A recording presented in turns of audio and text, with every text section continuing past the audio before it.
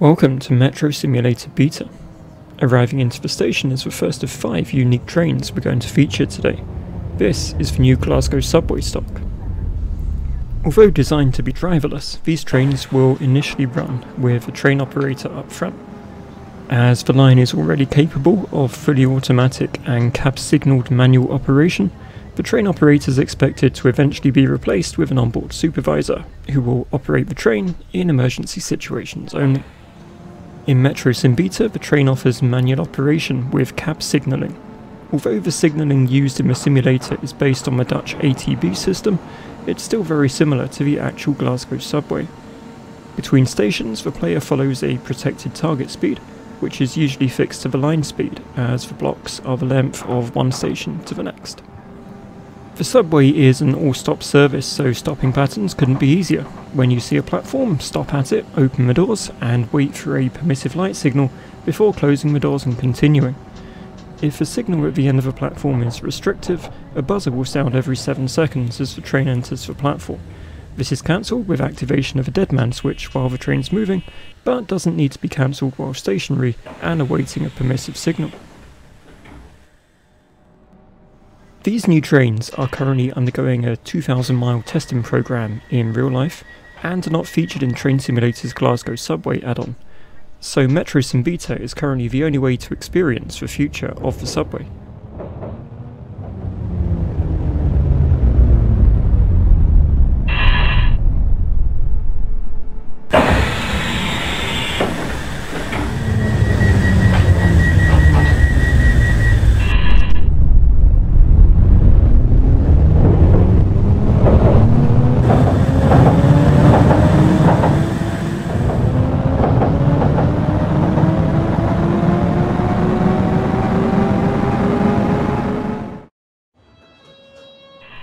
We now move to the London Underground and the S7 stock.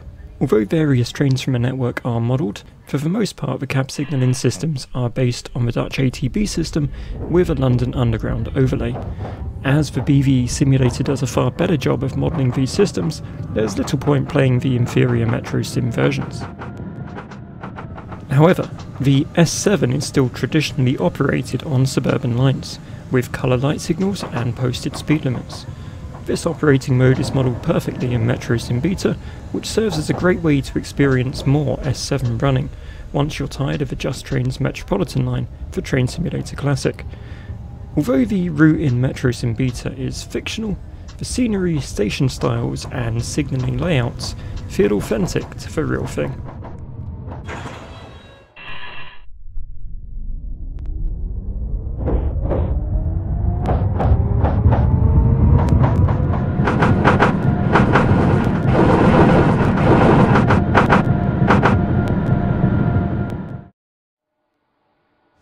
Departing the depot is our first adventure in light rail. This KTM CityLink tram operates on dedicated tramways and uses the ZUB cab signalling system. ZUB is similar to ATB in that operation is based on a protected target speed. However, some vehicles with ZUB, such as this tram, also display a visual braking curve to the operator when the target speed decreases, Colour light signals are also a feature of ZUB lines. They're mostly used to display a restrictive or permissive aspect for departing a platform, with distance signals used where necessary. With an all stops timetable and an easy to understand signalling system, driving the KTM CityLink is the perfect introduction to light rail operation.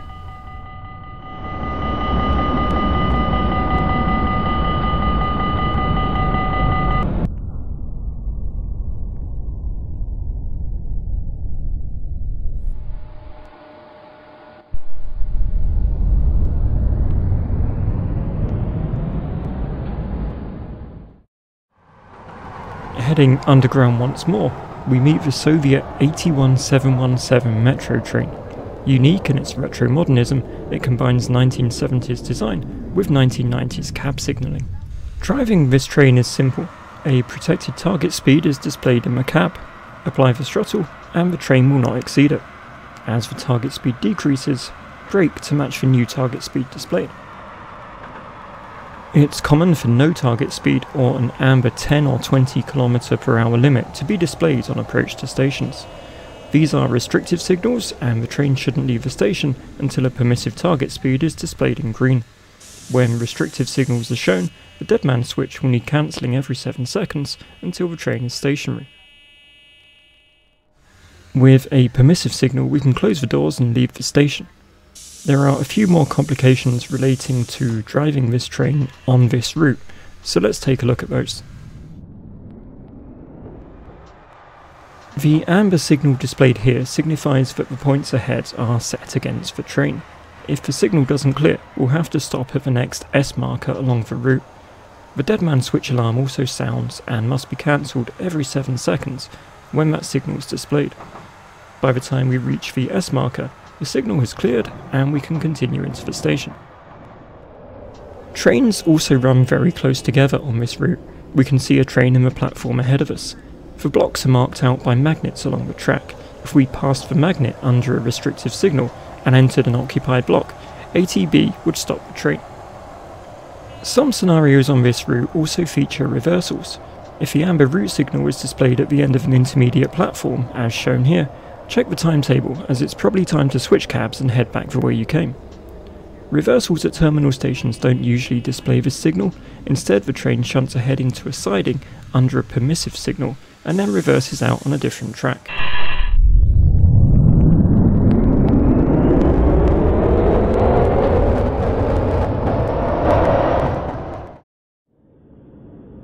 It's now time for my favourite train and route in Metro Sim Beta, the Alstom TFS tram running on city streets.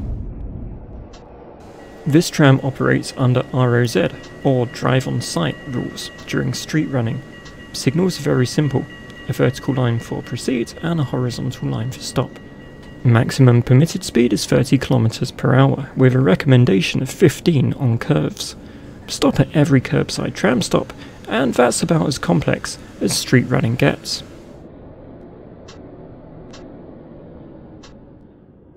As the tram approaches a junction, a route indicator is displayed trackside. Some of these switches are protected, so an overspeed tram will trigger a brake application. The trams even feel weighty as they cross points. Listen to the sound on this curve.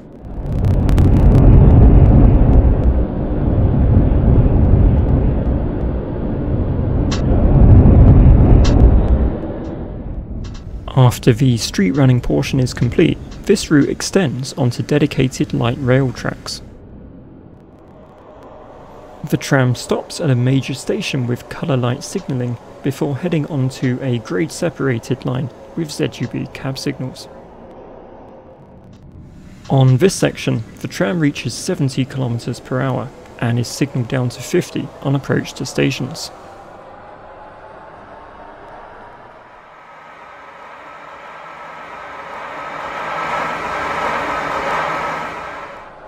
On this all-stop service, before the tram can continue after each stop, a proceed aspect must be displayed on the colour light signal at the end of the platform.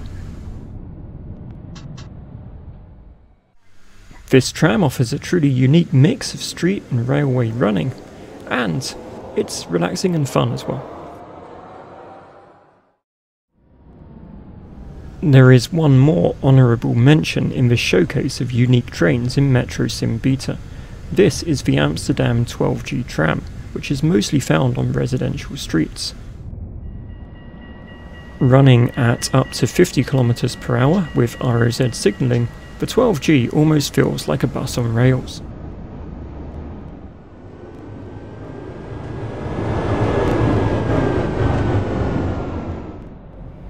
I hope you enjoyed this look at some of the unique experiences provided by Metro Simulator Beta. A download link is in the description below.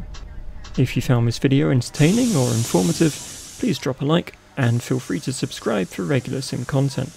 Take care, and I'll see you next time.